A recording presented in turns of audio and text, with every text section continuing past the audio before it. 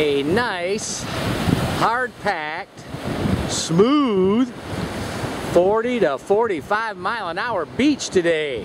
Ha! Love it when it's like this. I can get out in the middle of nowhere in no time.